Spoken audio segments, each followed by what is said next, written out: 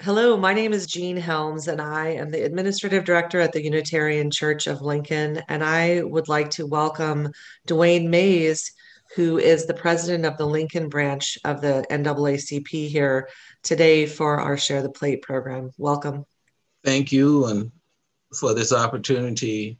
And hopefully, I can shed some information about NAACP that you may not know, or or if it's things that you know already, then uh, somewhat emphasize and just to update you on some things that we may be doing within the community. And just as everybody else, we've been, our, our, our activities have been curtailed somewhat uh, as a result of COVID 19. But we are realizing now that COVID 19 has just caused us to change our strategies. And so we, we're still here serving the community as a civil rights organization uh, where we try to help people who have civil rights problems or need advice or sometimes just uh, to emphasize or, what's needed to be done. Also, we are sought for advice on some of the civil rights activities within our city, uh, in, in, our leadership within our city, uh, because sometimes we we don't claim to be the voice of black people or people of color within our community but we do have a relationship there that allows us to have a uh, be able to hear and to be ears and to be uh, encouragement when things occur within our community.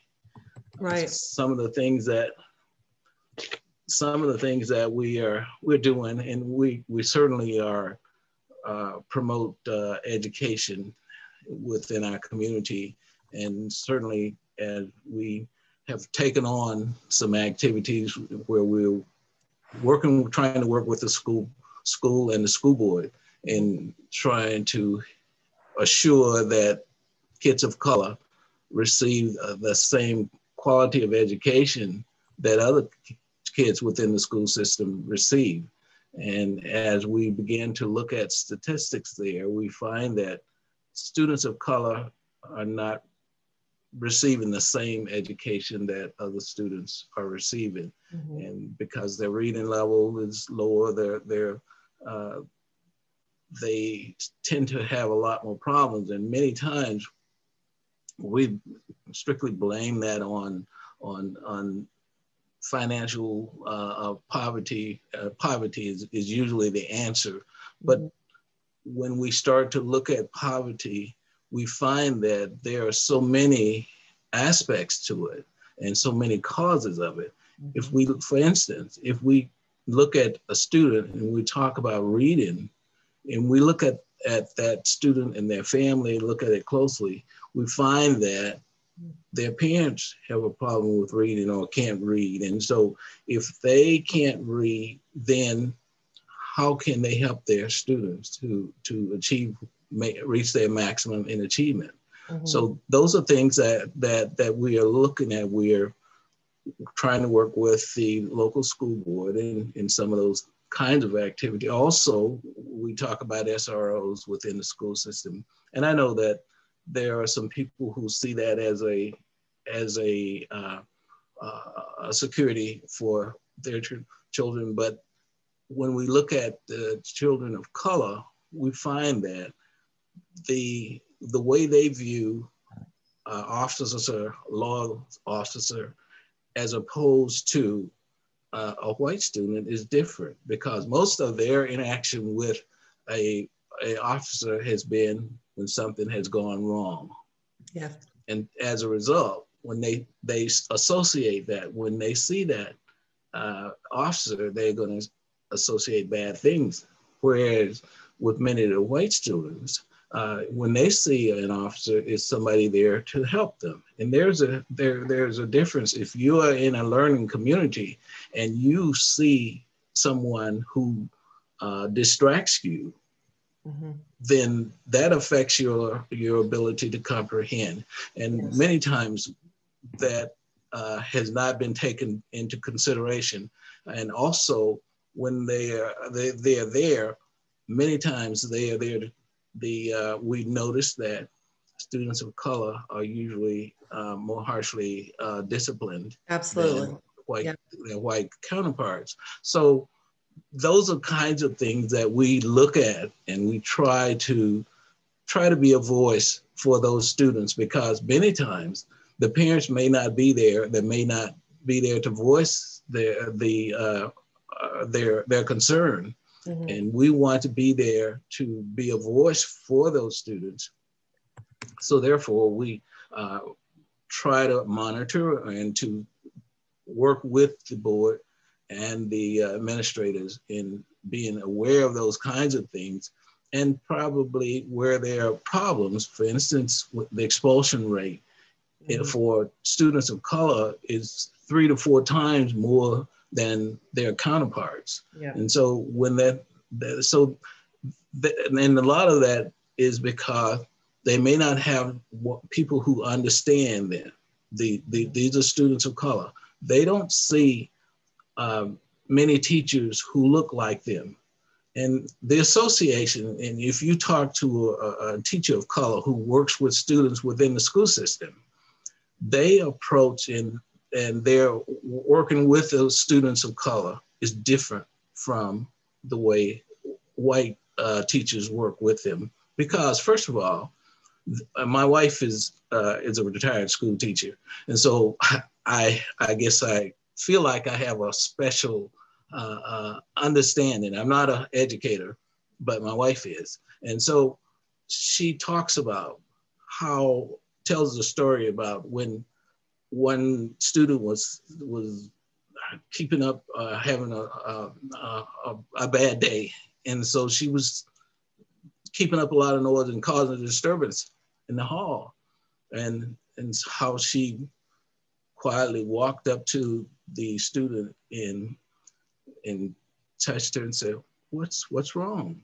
Mm-hmm. And she was just irate, and so she told us that. And wait a minute, what would you what would what do you think your mom would say if she heard you? Said, "Do you want me to call her?" Oh no no no no no, Miss May, please don't call my mom. She said, "Well, if you don't want me to call your mom, you better go to class and do what you're supposed to do. I, I I'll go to class. I'm on. So, you know, it was that simple in solving that problem. But other teachers were having a problem with her. Yeah. So sometimes having that kind of relationship mm-hmm. makes a big difference, and it eliminates some of the the uh, actions that may have to be taken by the administration where they might expose somebody. Yes. Yeah. Mm-hmm de-escalation within the school system is very important. Yes. And sometimes because uh, you have that commonality there, you know how to de-escalate the situation. Exactly. So that. It, are you? Um, may I ask? Are you um, ever in the situation where you are advocating for a specific student? Have you been put in that uh, position where you are stepping in as as a role with the administration? As a a specific student, no. Okay. But when there have been actions that have involved a, a number of students. Okay. When there's a trend, when you've identified a trend at a specific school. Great. Yes. Okay. Well, I I have had to step in when my, with my kids. yeah. and, and, and, I think that makes a difference. It makes a difference because I, I think about if they if I had not known people within the system mm-hmm. and had not been involved in having my wife having worked in the system, mm-hmm. uh, the approach would have been quite different. But because we had that connection then we were able to resolve most time resolve the problem resolve the issue without a, a problem mm-hmm. and you know it, but there are many students or parents who don't have that and one of the things that we have tried to do is to counsel with parents and to help them to understand how to uh, navigate the system without causing a problem for their students and and for themselves right, right. Are there other ways um, that you promote education outside of the school we, LPS system?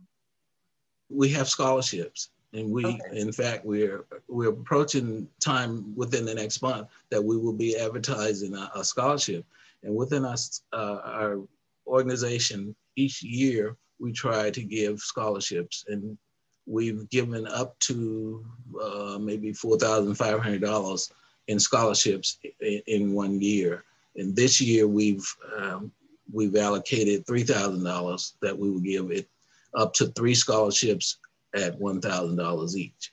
Awesome. And so those those scholarships, the student are for students within the Lincoln Public School System who are doing things that uh, promote civil rights and activities that uh, that we are as an organization have uh, have supported within the community. Cool.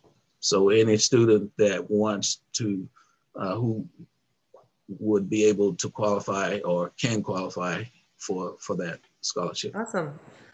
Uh, I'll look for that to come out um, so we can help amplify that. It'll be a, okay. It'll be on our website. Okay. Um, we're we're in the process of trying to get it done within the next uh, couple of weeks. or uh, week. Cool. Well, so um, I'd like to back up just a little bit and ask you how long you've been uh, with NAACP and had a role um, as the president? I've been the president for this is my third year, but uh, I've been active in NAACP for over 20 years in, in this branch. And as a when I grew up, I grew up in the South. Uh, I was a youth member of NAACP. Okay. Um, so um, when you were coming into you know working with NAAC, NAACP in Lincoln, um, were you did you have other roles uh, previous to being president?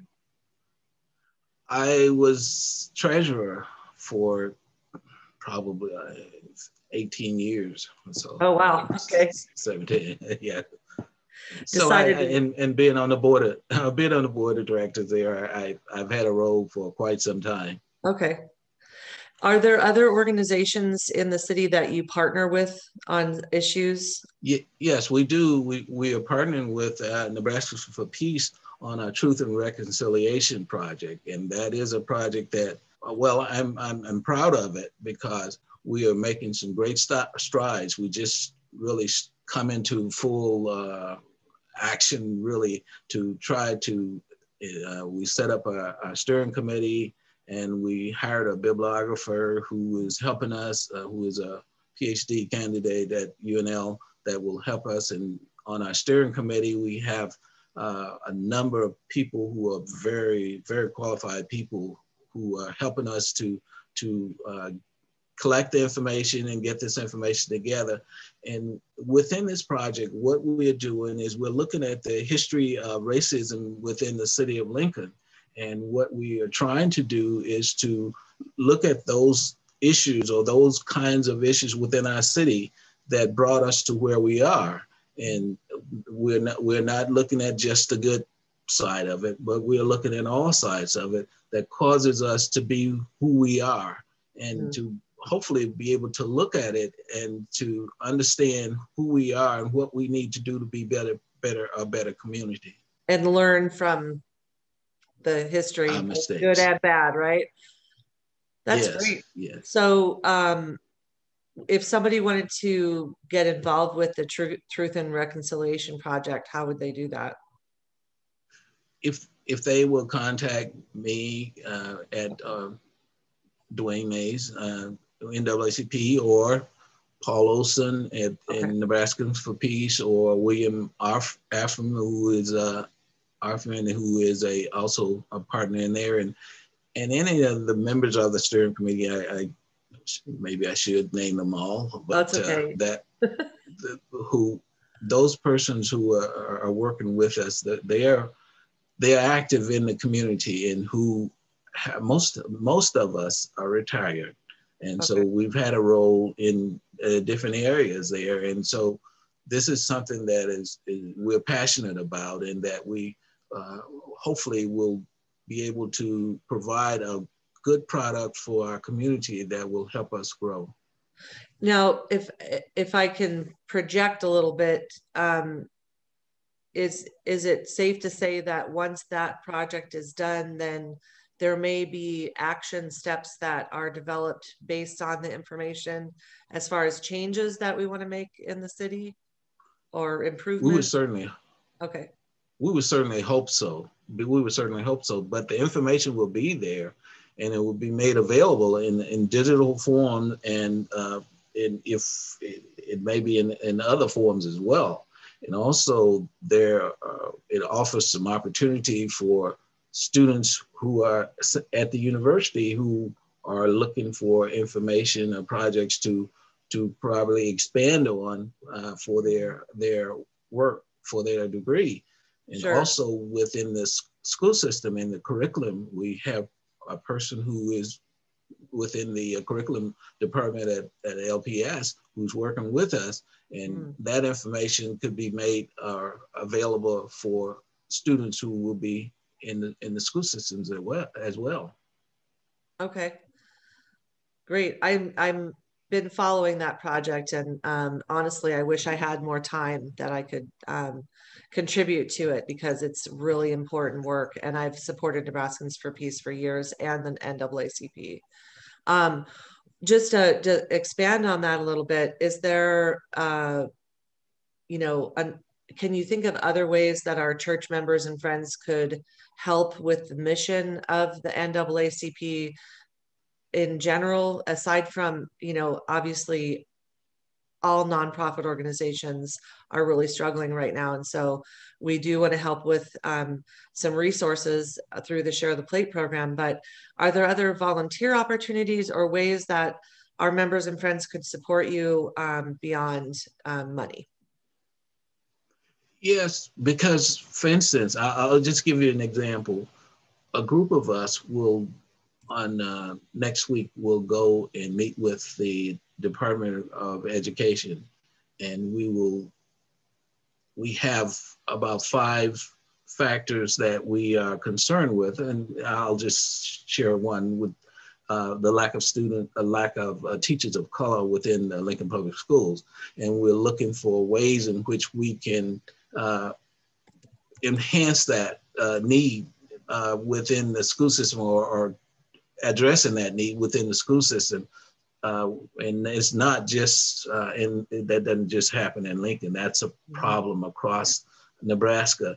But and we're hoping that we can figure out or, or come up with a way that we can do a statewide project that will help to uh, alleviate or address that problem to attract the school system. people of color to be teachers. People of color, yes, into our community, uh, which will add to to Lincoln itself. Because if we get people here who are are have jobs and who are help helping in the community, trying helping to educate our community, that's a plus for Lincoln all around, not just for the Lincoln Public Schools, but for the city in general.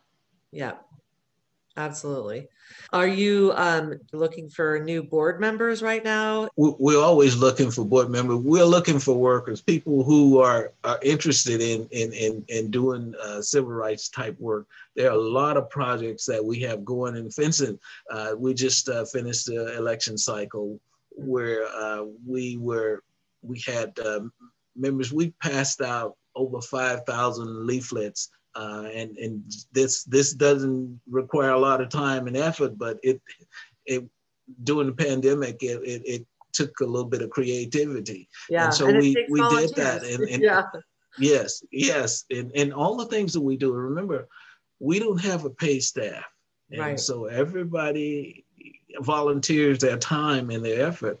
And sometimes my wife say to me. Uh, that's a full time job for you, and and it is. It it's, there almost no day pass that I don't uh, become involved in some way. And sometimes it's uh, someone who calls me from across the state who has a problem and they need some help. And so every once in a while, we have to answer the Macedonian call. And but we are primarily working here in Lincoln, and we don't we don't uh, necessarily want to go somewhere else uh, right. out of certainly not out of town yeah. because it takes time and effort and, and and so but we do try to help as much as we can uh, whenever we can and, and some of the most heart-wrenching uh, things happen well someone's in, the in in in the jail somewhere and they're asking for help and for us to be able to tell them most of the times we have to tell them we can't help them because they need legal help mm-hmm. and we don't have that and we sure. we don't have uh, a, a, good a list of persons that we can refer them to mm-hmm. and, and and sometimes that's all that they need because sometimes they're they are parents who have a a son or a daughter who gets into a situation within the state of Nebraska, and they will call us and ask us, well, at first ask us for help, and when we can't give them the financial help, at least sometimes we can refer them to some, to someone who can possibly help them sure. or give them some some advice, and if nothing else, to try to give them some consolation. Right. Um, so, you know, you mentioned that there's no paid staff. Um, so I'm guessing that everybody works from home, that you've been doing things online during the pandemic, like we all have. Um, yes. But um, are there other ways that, um, other, uh, I guess, what's been the most challenging thing? What, what is, what way has the pandemic affected your work the most? Well, with with uh, people of color, especially African Americans, we are used to that one-on-one communication. And you go and you call someone, and you uh, or either you see someone at church or in the out when you're out in the certain activities within the community, and you get to talk and to share with them, and and then you you can tell them what you need to tell them because that's the most effective way. Well, now, unless you have their their telephone number or or some way of contacting them, and there that's no sure way that you're going to get them in. Yeah, I really miss trying that. to motive them. Just you know, accidental, yeah, bumping into people and um, having those offside side conversations are sometimes, like you said, really important to building community. Absolutely.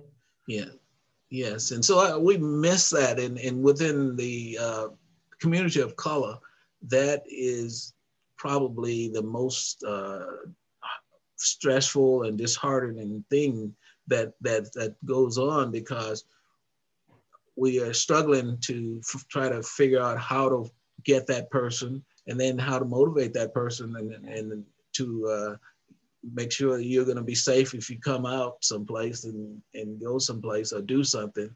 And for instance, the, the legislature is in session now, and usually we are down there uh, testifying, and we set in usually set in on a lot of the uh, the meetings that go on. I haven't been this this year because I, I have to be careful, and and and I, I know that many of the rest of us feel the same way. And so it, it means uh, that you have to do something different from what you are accustomed to doing. And then you always wonder just how effective are you if you are not there in person. I depend on a, a, lot on the the the uh, communication of nonverbal communication when you talk to a person as to to judge whether or not uh, what I'm saying or what I'm doing is, is effective or not and so and plus I get to ask some questions that I, I don't get to get asked on on on on Zoom. Absolutely. Yep. Yep. So I guess um, I want to just ask you, open it up and ask you if there's anything else that is coming up in the in the near future that's happening this year that you would like our members and friends to know about. Um, any events that you are planning, or is there a lot of are there a lot of questions still about what is going to be possible? It's a lot of questions about what's going to be possible because usually we have a, a banquet, and that's one of the the big the biggest activity that we have during the year, and it's usually during the fall of the year, and it's an opportunity where we have 300, 400 people in one room, and we get to communicate. And we it's a it's kind of a uh, an activity where there are people that I that's the only place that I see them. Mm-hmm. And, and to get that many people in one room who have who are somewhat like-minded is is is is, is unusual. Mm-hmm. Certainly when you talk about civil rights activity in Lincoln. Yes, absolutely. So I'm assuming that you did not have the banquet in the fall of 2020, and it's a big question mark no. for 2021 at this point. Um, that's right. It is. Yeah. And that's that. That's that. That was our main income source, and so uh, in 2020, uh, that was we didn't have that source. So it makes a big difference in how we in what we can do in, in the funds that we have to operate from. Yeah.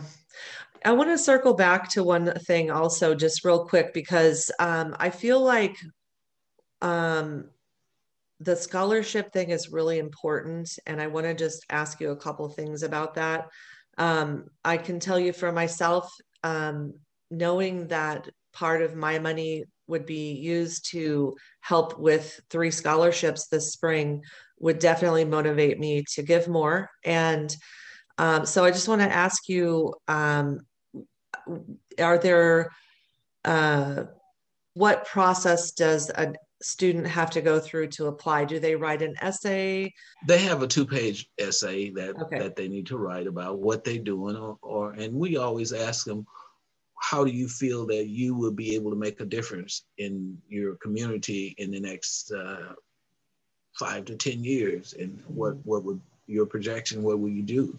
And how would you go about it? And and to try to stimulate the discussion so that they can talk about what they're doing and where they want to go with what they're doing and, and hopefully we can be able to find kids that are that are focused and they have been successful in that uh, we know that some of the students uh, we we don't ever hear from again but there are some who we know for instance are medical doctors who, who were went through uh, and were applicants and receive the scholarship uh, from us. So those are and some are some are teachers. Oh, sorry, I didn't mean to interrupt you. Um, well, I just so, was going to say some are teachers. I said, well, yeah, perfect. That's that ticks two boxes, right? Um, yeah. Are are those open then to any senior that is in the public school system? Yes, yes, they must be a senior and graduating senior this year and they don't don't have to go to a, a, certain any particular university, but they do have to go to a, a, a school of learning, a higher school of learning, meaning that they can go to a, trade school. Sure. But uh, you know that that we we support that as well. Awesome. I'm I really like that, and I will definitely uh, watch for the announcement so that I can uh, let people know. You know I know students that are in the public school system who might qualify. So, uh, from that mm-hmm. standpoint as well, I'll, I'll try to keep an eye out for that. Um, you know, I really appreciate your time today. I, I want to give you the opportunity to share anything else that you would like to share with us uh, before we close out the interview. But I also want to just thank you for your time today and, you know, being with us um, for the Share the Plate program. Well, I don't have anything else that I can think of at this moment. I probably told you all I all I can think of at the moment. But uh, I, I, I want to thank you and and certainly uh, Unitarian Church there for for this F, uh, for this offer and let me have and have a say in, on your uh, announcement here. Thank you. Well, we do. We believe in uh, the advancement of civil rights in our community. And we are doing um, just to share this with you, we are doing some internal work right now. We are a predominantly white church, as you know, I'm sure. Um, mm-hmm. but um, we want to be um, inclusive and welcoming, but we also want to do some of the inner work. Um, we're doing some uh, work on the congregational level to dismantle white supremacy within ourselves and within our organization right now and it's it's very important to us and i really want to uh, sincerely thank you for the work that you're doing to you know advance civil rights in our community. Uh, it's extremely important and and we support you all the way so um, want to thank you because in your church because you have have uh, supported us in, in many ways uh, down through the years and so for that, we, we, we thank you. And, and certainly anytime that we can do something that might enhance your program in any way, let us know. Thank you. We will be looking for ways of partnering and and deepening the relationship mm-hmm. um, beyond sure. a Zoom interview. And I look forward to that. I look forward to those in person conversations. Thanks again for your time today. I really appreciate it. Thank you.